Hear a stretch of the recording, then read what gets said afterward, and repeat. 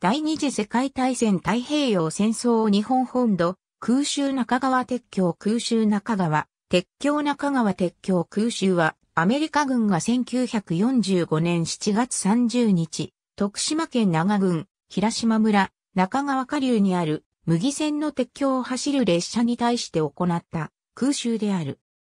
太平洋戦争末期の1945年7月30日、徳島駅を午後2時47分に出発した麦駅行き列車は警戒警報が発令されたことから阿波中島駅に停車していたが、同駅長の判断で午後4時頃に同駅を発車した後、中川橋梁に差し掛かった際、アメリカ軍のコルセア関西機2機が襲来し、爆撃と機銃操車により車両は大破脱線、立往生するも同機は必要に攻撃を繰り返した。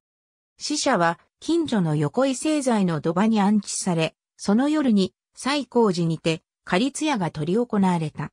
また、空襲の連絡を受けた阿南共営病院は現場へ急行するため、国鉄による蒸気機関車の運転を手配し、外科看護婦7、8名は運転席へ乗車したほか、外科医師1名は機関車先頭の手すりに捕まって現地へ向かい、救援活動を行った。重傷者はトラックにて、阿南共営病院に搬送されたほか、軽傷者はますます先院へ搬送され、手当てを受けた。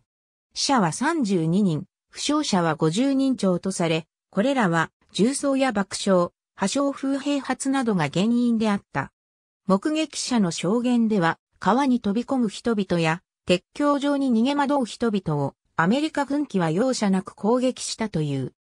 若い女性車掌は、爆撃による握り拳台の破片が、伝部に食い込み、駆けつけた医療班により、現場で摘出消毒した後入院したが3日後に、破傷風を併発して死亡したが、意識朦朧の中でも、皆さん伏せて、と叫び続けていたという。